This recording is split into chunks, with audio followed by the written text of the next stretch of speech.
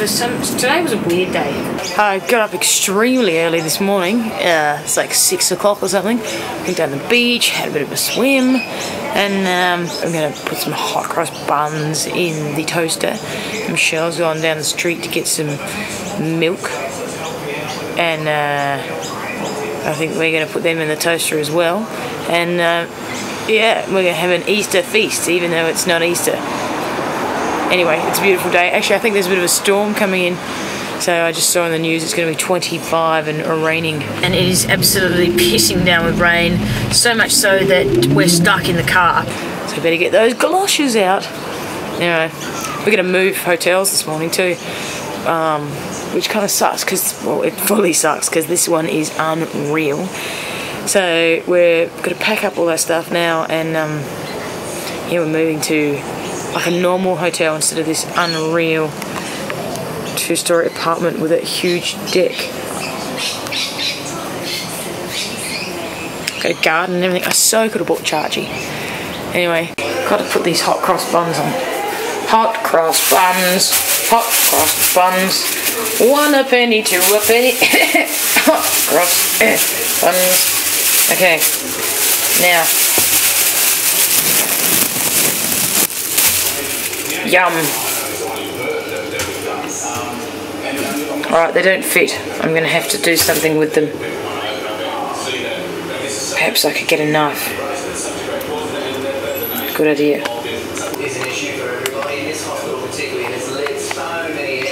Okay, so I need to get a knife. Um, oh! Oh, that's no good. Let's try that again.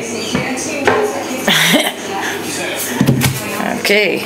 Alright, anyway, we're just about at the festival now. We're going to go and um, park the car and get into it. So, uh, saw the, the backstage of the festival area where all the security guards hang out.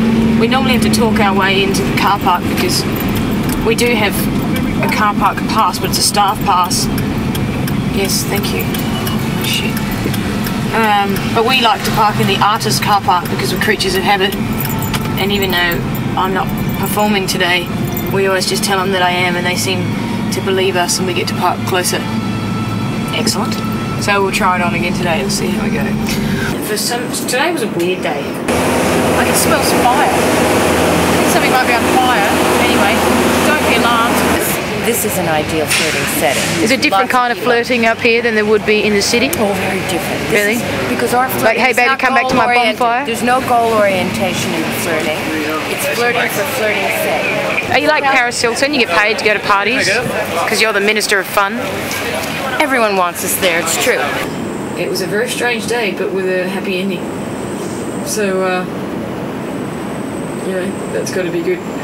So tomorrow's Friday tomorrow I've got um, Ayo, which I think she's just French, French, French singer, which who I uh, haven't heard, but apparently is unbelievable. So that'll be good. And Ziggy Marley, yeah man, Ziggy Marley. That should be cool. I mean, chances are, if Bloodline has anything to do with it, he couldn't be half bad. So yeah, big day tomorrow. So I'm going to go and read up some information now and get it together so I know what I'm talking about tomorrow when I meet these people. And um, hope for the best, eh? Alright, no, no. I'm in Byron now. I'm about to go down to the gig, and it is absolutely pissing down with rain. So, uh, yeah.